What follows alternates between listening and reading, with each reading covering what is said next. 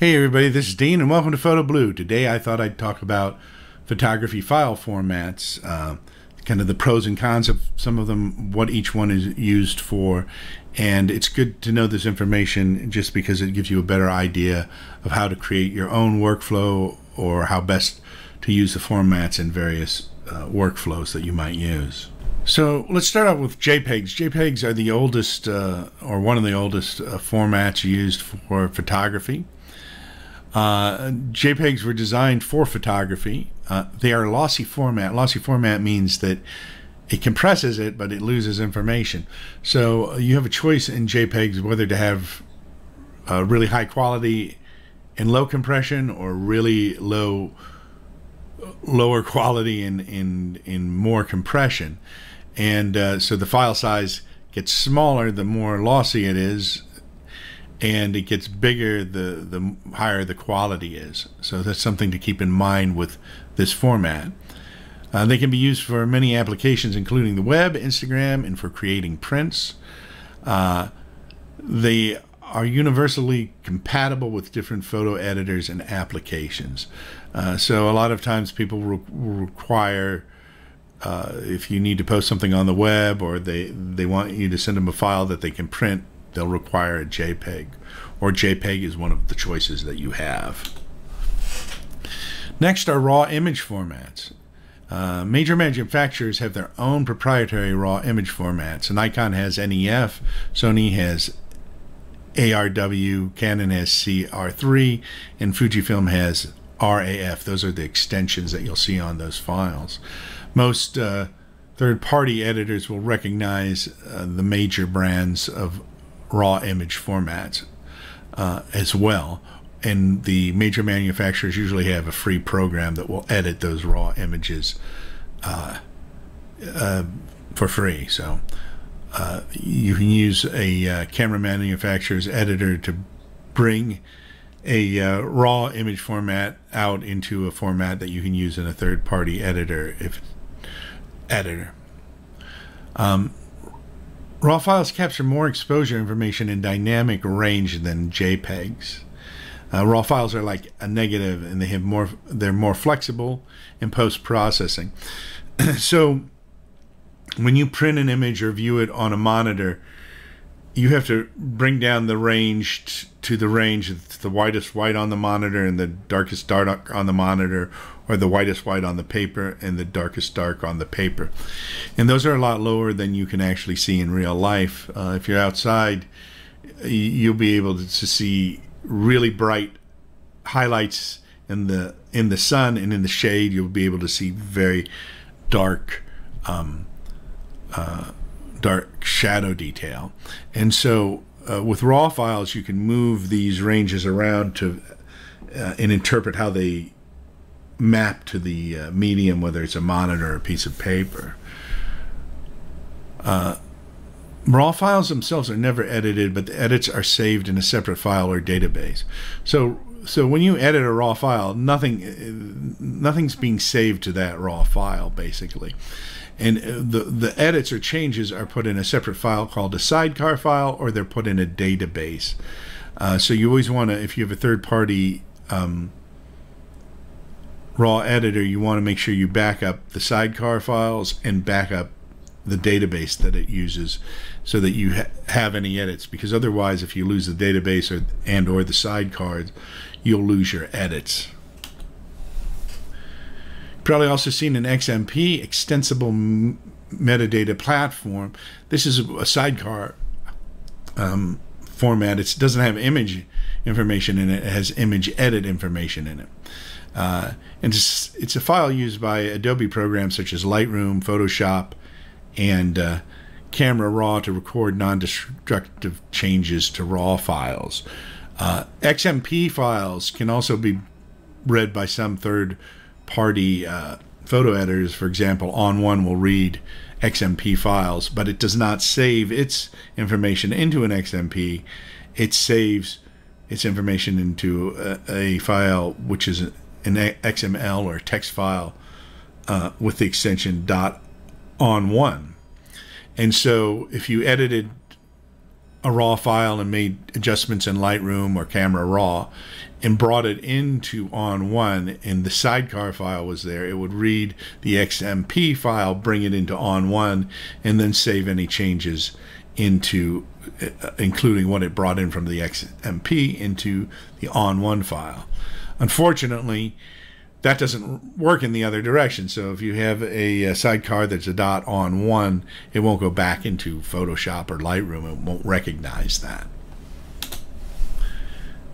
Another file format is DNG, which is digital negative file.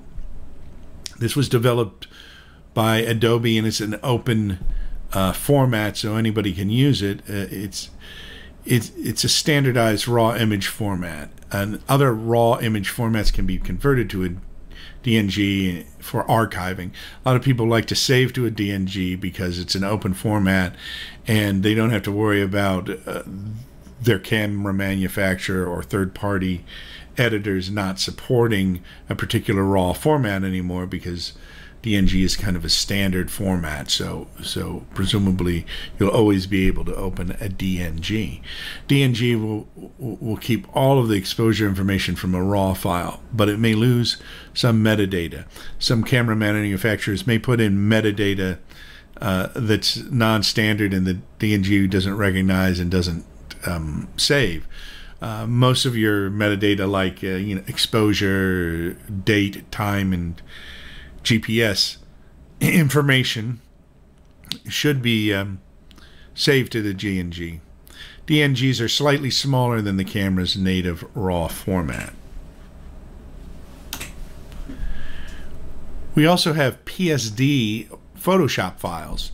PSD is the native format of Photoshop, and uh, it, it PSD files tend to be larger than RAW files, JPEGs, and TIFFs, and PSD files save layer, masking, adjustment information so you can go back and make adjustments later rather than starting over. So it will save the different layers you work on, the different masks and such that you use. So you can go back and make adjustments later rather than starting over with the original raw file format or whatever ever other format you started with. The nice thing about PSDs is most third party editors will read a PSD, uh, but they cannot write to a PSD or or convert to a PSD. So you would have to convert uh, the file. You'd either have to save it as the editor's native file format, or you would have to save it to uh, another format like a TIFF or a JPEG that other editors can read. Most uh, third-party editors, as I said, have their own uh, format, and the problem with those formats are most other editors can't necessarily read those formats or can convert back and forth. So the native uh, formats to other editors, uh, y- you may not be able to bring into other editing programs. So you might have to convert it to a TIFF to work in another editor. Editor with the with PSDs, you can often bring the PSD right into the third party. So in that direction, it works a little more smoothly. Also, a lot of editors also have plugins for Photoshop that you can open up and in edit within Photoshop using the other editor if it has like some special filter or some special function that you'd rather use than what's commonly in Photoshop.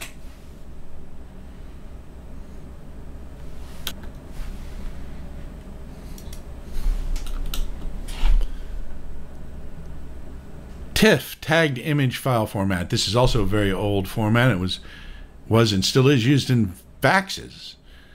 TIFFs are slightly larger than raw files. TIFFs are not compressed.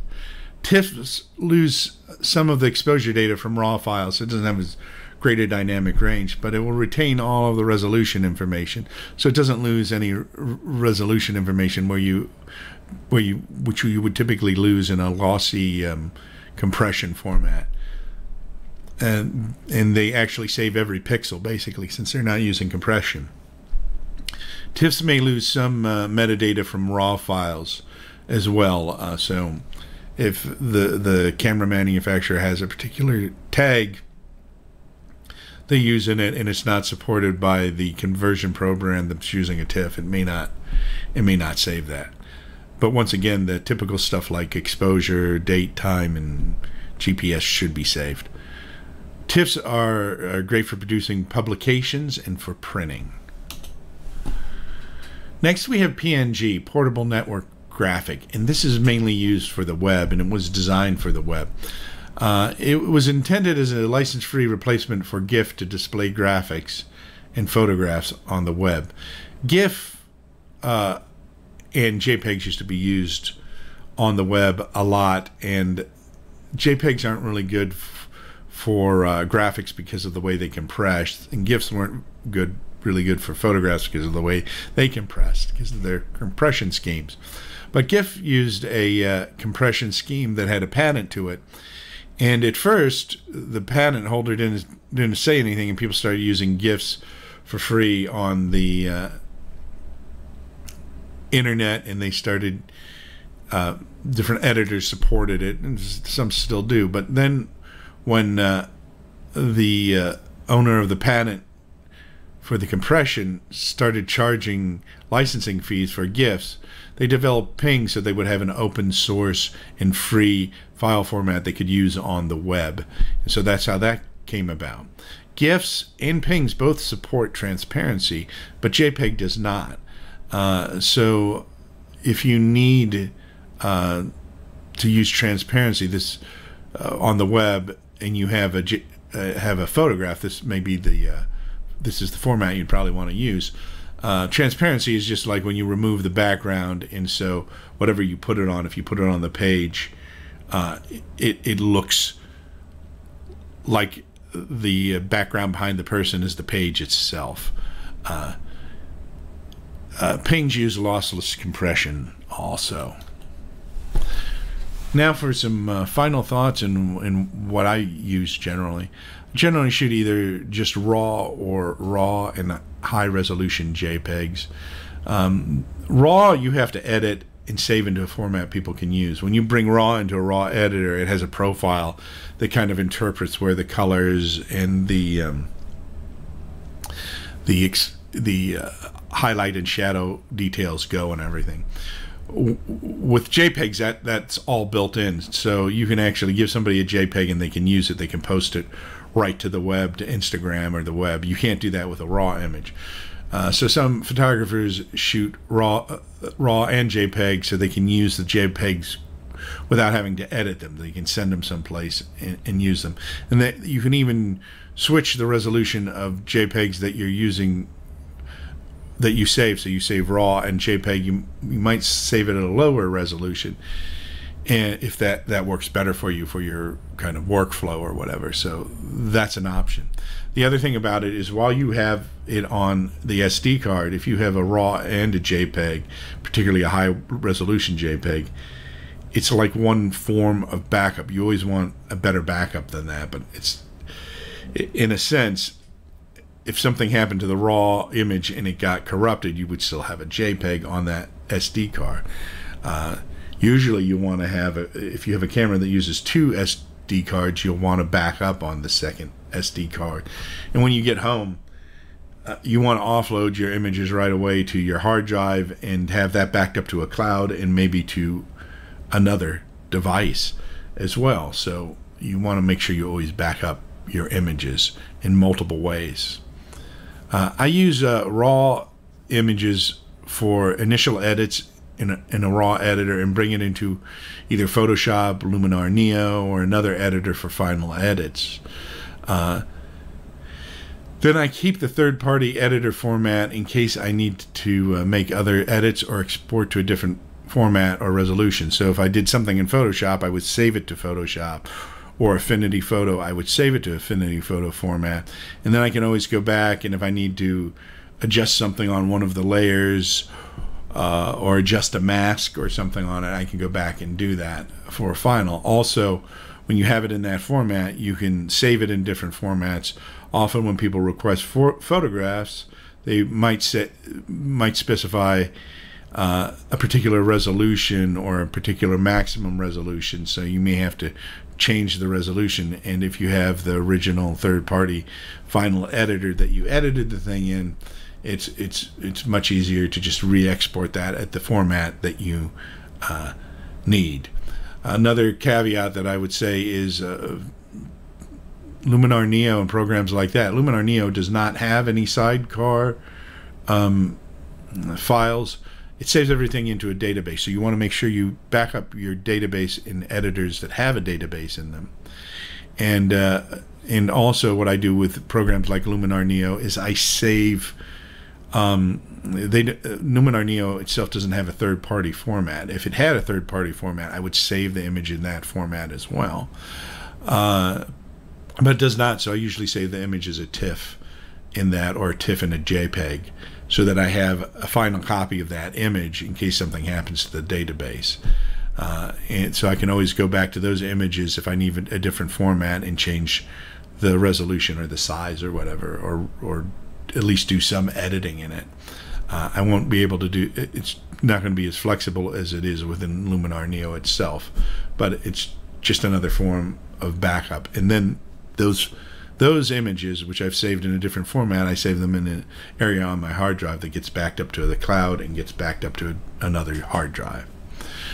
So that's that's uh, the photographic or the major photographic file formats and how I use them in my workflow. Uh, hope this was useful to you. I'm Dean, and this has been Photo Blue, and I'll see you next time. Don't forget to subscribe, share, and like.